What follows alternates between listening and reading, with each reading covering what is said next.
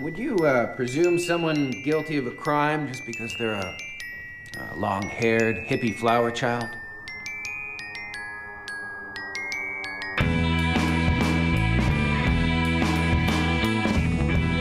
Hi, I'm Dorothy. Hi, I'm Perry. Do you know about the love of the Lord Jesus Christ, our Savior?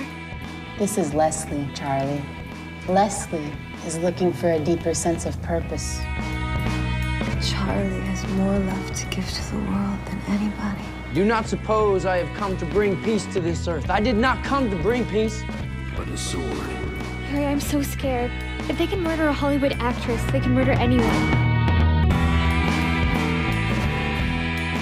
Rosemary was begging for her life. Blood was gushing from her body, forming rivers of gore.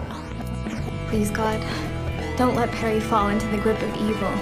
What Leslie did was not done by the real Leslie. The more I stabbed, the more fun it was. Those evil, evil people. Perry, you make them pay. Whatever I decide, it's going to be my decision between me and God. How do you find a defendant? Guilty or not guilty of first degree murder, which carries with it the penalty of death.